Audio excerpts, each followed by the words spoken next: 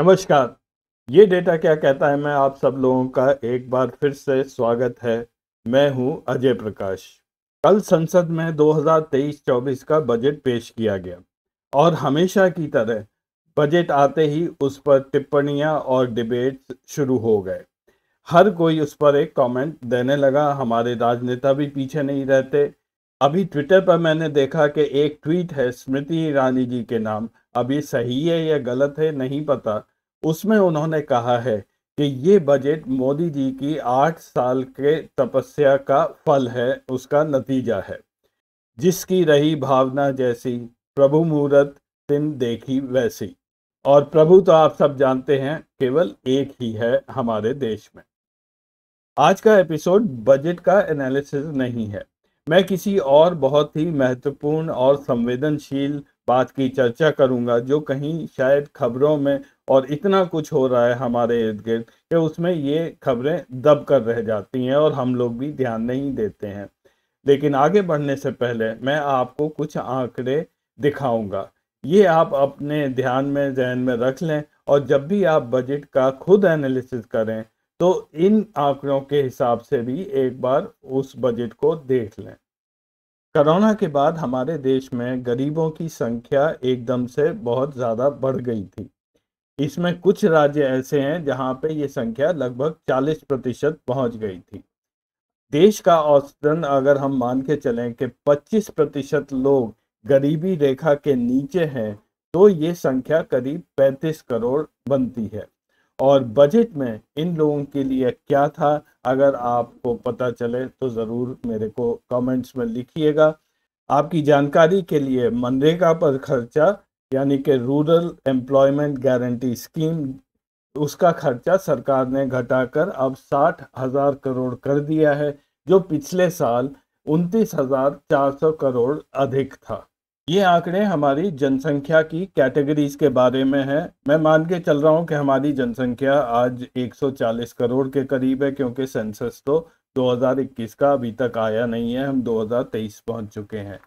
Generation Z वो लोग हैं जो उन्नीस सौ सतानवे और 2012 के बीच में पैदा हुए, जिनकी उम्र आज लगभग 11 से 26 साल के बीच में है। ये बावन प्रतिशत है, तिहत्तर करोड़ इनकी संख्या है। ये ऐसे लोग हैं जो अभी या तो पढ़ रहे हैं या नौकरी में जा रहे हैं या कुछ आने वाले साल में ये नौकरियाँ मांगेंगे। सीनियर सिटीजन हमारे यहाँ पे लगभग 25 करोड़ हैं। काम करने वाली जनसंख्या वर्किंग ग्रुप पॉपुलेशन चौरानवे करोड़ है। पेंशनर्स इंडिया में हर तरह के pensioner central state government old age pension NPS सब मिला के इस वक्त करीब 9 करोड़ पेंशनर्स हैं, जिसमें से गवर्नमेंट पेंशनर, सेंट्रल गवर्नमेंट, वो बावन लाख हैं। वोटर्स आज की तारीख में बावन करोड़ हैं। और बेरोजगारी के दर के हिसाब से आज हमारे देश में करीब 10 करोड़ युवक, वो बेरोजगार हैं। तो हमारे युवकों के लिए, हमारे सीनियर सिटीजन्स के लिए और हमारे काम करने, वर्किंग ग्रुप पॉपुलेशन के लिए इस बजट में क्या क्या था? आप ढूंढ लीजिए और कुछ मिले तो अवश्य बताइए। इस चैनल पर जितने भी प्रोग्राम हैं, उसमें हम सरकारी सूत्रों का डेटा लेते हैं, उसका विश्लेषण करते हैं और उस पर टिप्पणी करते हैं। अगर आपको ये कार्यक्रम अच्छा लगे तो इसको ज़रूर लाइक करिए, चैनल को सब्सक्राइब करिए और दूसरों के साथ भी शेयर करिए।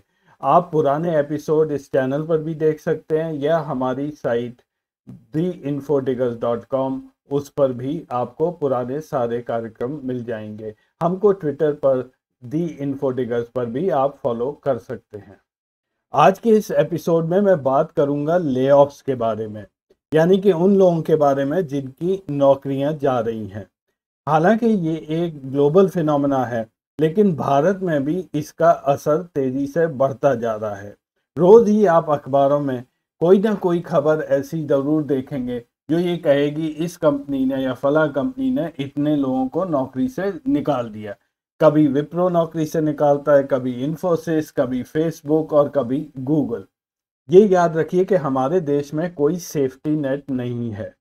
कई देशों में ऐसा प्राविधान है कि नौकरी नहीं होती है तो एक अनएम्प्लॉयमेंट अलाउंस लोगों को दिया जाता है, जिससे वो अपनी बेसिक ज़रूरतें पूरी कर लेते हैं। हमारे यहाँ कुछ ऐसा नहीं है। और भारत में खास करके अगर एक नौकरी जाती है तो पाँच लोग परिवार के उससे प्रभावित हो जाते हैं।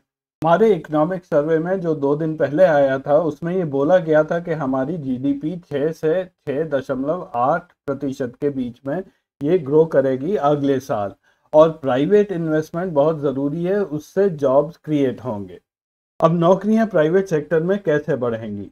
हमारी वित्त मंत्री ने ये ग्रोथ बढ़ाकर सात प्रतिशत दिखाई है अगले साल के लिए, जबकि हमारे chief economic adviser Shri Venkateswaran ने बाद में इंटरव्यू में ये कहा था कि जीडीपी लगभग छः प्रतिशत के आसपास ही ये ग्रो करेगी।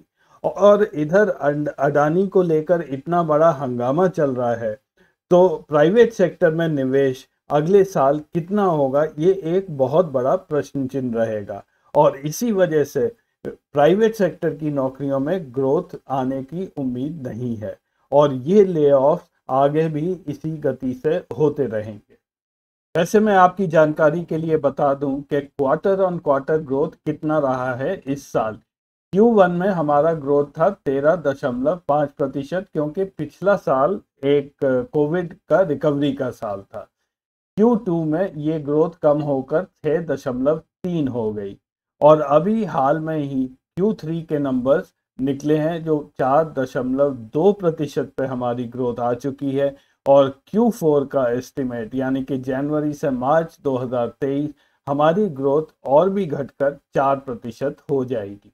तो चार प्रतिशत की जीडीपी ग्रोथ लेकर हम एंटर करेंगे अगले वित्तीय वर्ष में।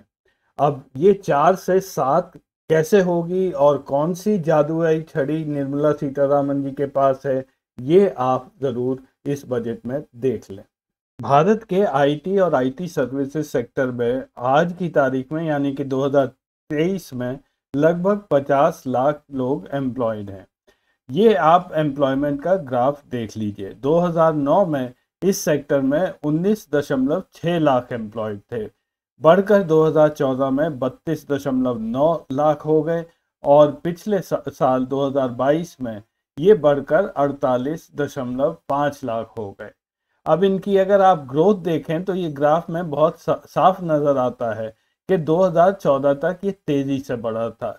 इसकी एवरेज ग्रोथ रेट तब 11 प्रतिशत थी। ये यू यूपीए वन और U UPA two doctor Manmohan Singh का उस समय उस समय उनकी गवर्नमेंट थी। उसके बाद मोदी सरकार जब से आई, इसमें ग्रोथ में ये गिरावट आ गई, ये बीच में फ्लैट भी हो गया और इनकी एवरेज ग्रोथ रेट केवल पाँच प्रतिशत है। तो इसी ग्राफ पर मैं हायरिंग का जो पैटर्न रहा है, वो इस पर सुपर इम्पोज कर देता हूँ। इसका मतलब है हर साल कितने नए लोग इस सेक्टर में जिन्हें नौकरी दी गई। 2010 में तीन दशमलव चार लाख लोगों को फिर उसके बाद दो लाख, फिर तीन लाख तो ऐसे ये ऊपर नीचे चलता रहा, इसको ऑल्टरनेट ईयर हायरिंग बोलते हैं। एक वर्ष में इस सेक्टर में कम नौकरियाँ होती हैं, अगले साल उसको पूरा करते हैं और ये हायरिंग बढ़ जाती थी। ऐसा ही चलता रहा था 2014 तक। लेकिन 2014 के बाद आप देखेंगे कि निरंतर हर साल इस सेक्टर में नौकरियाँ कम होती गई। सबसे कम हुई 2018 में। कोविड आया था 2019 के अंत में 2020 में, और कोविड में जो हायरिंग ज़्यादा ऊपर हुई है, इसकी अलग अपनी एक कहानी है, जो मैं आपको इस एपिसोड में आगे बताऊँगा। तो जैसा आपने देखा, भारत में जो स्लो डाउन आईटी सेक्टर की हायरिंग में आया है, वो मोदी सरकार के आने के बाद आया है, और ये निरंतर हर साल ऐसा ही चलता रहा। भारत के आईटी सेक्टर को हम दो हिस्सों में अलग डिवाइड कर सकते हैं। पहला है स्टार्टअप्स का। स्टार्टअप्स वो कंपनियाँ हैं जो नई होती हैं, उसमें एक चैलेंज अलग होता है, उसमें एक रिस्क भी होता है और लोग इसको ज्वाइन करते हैं अपना फ्यूचर बनाने के लिए कि अगर कंपनी चल गई तो वो बहुत जल्दी ग्रो कर जाएँगे। दूसरी हैं जो नॉर्मल कंपनीज़ हैं, जैसे कि T C S Wipro H C L Infosys इसमें काफ़ी रिक्रूटमेंट भी होता है और ये एक तरह का स्टेबल कैरियर माना जाता है और ये भी माना जाता है कि इसमें ले कम होंगे। ये एक तरह से सिक्योर्ड भी मानी जाती हैं। भारत में आज तक लगभग अड़तालीस हज़ार स्टार्टअप रजिस्टर की गई हैं। ये ग्राफ है 2012 से लेकर 2022 का। सबसे ज़्यादा स्टार्टअप का रजिस्ट्रेशन हुआ था 2015 में। उसके बाद इस फिगर में लगातार गिरावट आती गई है। और आज तक की सबसे कम रजिस्ट्रेशन एक साल में स्टार्टअप्स का हुआ था 2022 में छः सौ बावन कंपनीज़ का। सरकार अपने बजट में इस मुद्दे पर बिल्कुल चुप्पी साधे हुए है। ना तो कोई स्टार्टअप्स के लिए ईज ऑफ़ डूइंग बिज़नेस में कोई इम्प्रूवमेंट दिखा, ना ही कोई फाइनेंशियल एड उनके लिए अनाउंस की गई, और ना ही उन पर, उनको कोई सपोर्ट दिया गया है। हमारा स्टार्टअप्स का इकोसिस्टम एक तरह से सिमटता जा रहा है, जो कि एक अच्छी बात नहीं है। पिछले तीन साल में कितनी नौकरियाँ गई लोगों की पूरी दुनिया में, ये इस चार्ट में दिखाया है। ये डेटा लिया है मैंने lay off dot F I F Y I से, जो कि ये ट्रैक करता है दुनिया भर की कंपनी को कि किस दिन कितने लोग ले ऑफ़ हुए थे।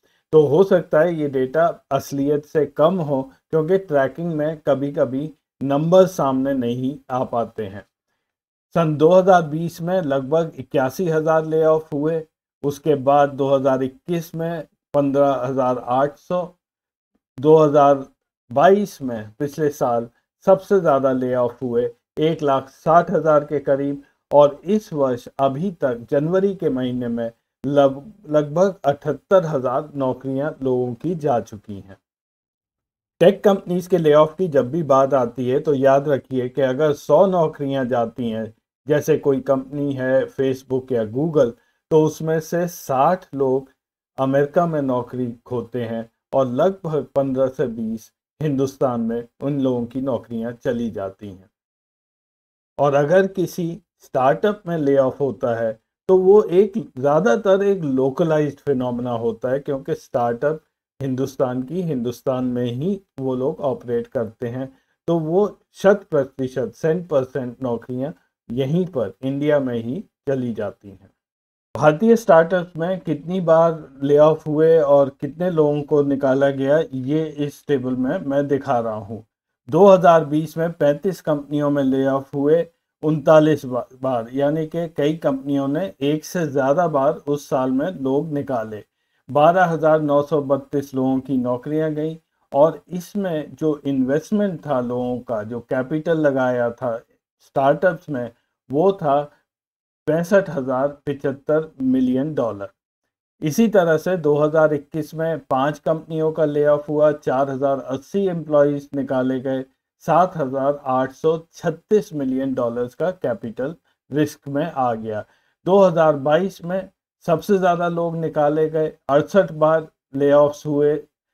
इसमें चौदह हज़ार दो सौ चौबीस एम्प्लॉज निकाले गए और इसमें कैपिटल लगा हुआ था चौवन हज़ार तीन सौ चार मिलियन डॉलर 2023 में अभी तक दो हज़ार तीन सौ सत्ताईस लोग स्टार्टअप्स में निकाले जा चुके हैं। तेरह हज़ार चार सौ छियासी मिलियन डॉलर रिस्क में आ गए।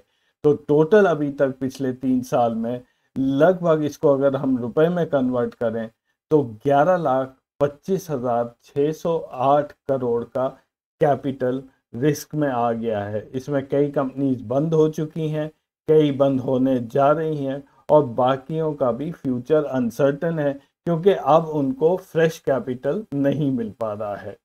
पूरे जो इसमें नौकरियाँ जितने लोगों की गई 120 कंपनीज़ थी 135 बार उन्होंने ले ऑफ़ किए टोटल लोगों की नौकरियाँ गई तैतीस हज़ार पाँच सौ तिरसठ। स्टार्टअप्स की प्रॉब्लम मेनली ये है कि नया फ्रेश इन्वेस्टमेंट स्टार्टअप्स में नहीं आ रहा है।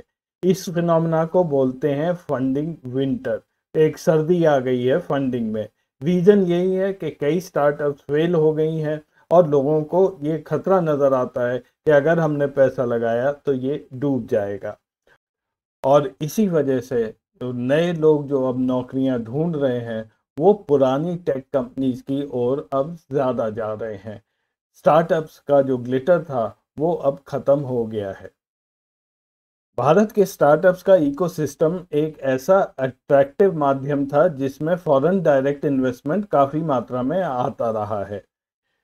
स्टार्टअप्स की फंडिंग विंटर अब एक आइस कोल्ड हो चुकी है।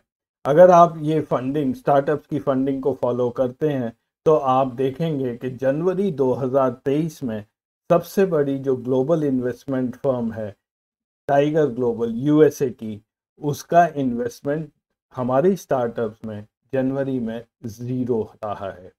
और इससे पहले सॉफ्ट बैंक आप सब जानते होंगे, उसने स्टार्टअप इकोसिस्टम भारत का जो है, वो वहाँ से वो विड्रॉ कर चुकी है। स्टार्टअप में हर इंडस्ट्री में ले हो रहे हैं, चाहे वो कंज्यूमर हो फाइनेंस हो फिटनेस हो हेल्थ केयर हो, लेकिन दो तीन सेक्टर्स ऐसे हैं जो बहुत ज़्यादा अफेक्ट हुए हैं।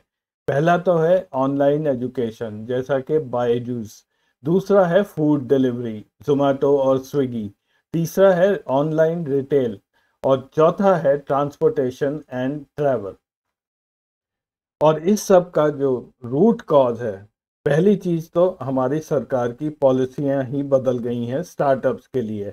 नया इन्वेस्टमेंट नहीं आ रहा है, नई कंपनीज़ बन नहीं रही हैं।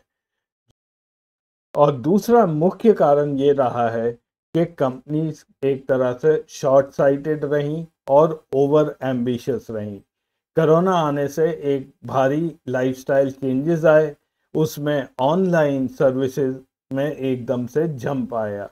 हम लोग खाना बाहर से मंगाने लगे। सारा कुछ पढ़ाई लिखाई ट्रेनिंग सब ऑनलाइन होने लगी। लेकिन जैसे ही धीरे धीरे नॉर्मल सी आई, ये सारी सर्विसेज़ लेना, ये ख़त्म हो गया। उसके साथ ही देश में महँगाई बढ़ती गई इन्फ्लेशन बढ़ता गया, नौकरियाँ जाती रहीं तो लोग एक तरह से खर्चा करने से डर गए हैं। और इसी कोरोना के दौरान टेक कंपनीज़ ने भी ओवर स्टाफिंग कर ली। उन्होंने सोचा ये ग्रोथ कंटिन्यू करेगी। उस समय चीप मैन पावर थी वर्क फ्रॉम होम था मैन पावर पर खर्चे कम होते थे तो उन्होंने दनादन भर्ती कर ली। लेकिन जब अब स्लो डाउन आ रहा है तो वो भी अब इस मैन पावर को लेने से कतरा रहे हैं। इस बारे में भी हमारे बजट में कुछ नहीं बोला गया। स्टार्टअप इन्वेस्टमेंट प्रोटेक्शन के बारे में भी कोई बात की नहीं गई है। तो आज के एपिसोड में बस इतना ही। अगले हफ़्ते फिर मिलेंगे नया कुछ डेटा लेकर। तब तक के लिए नमस्कार।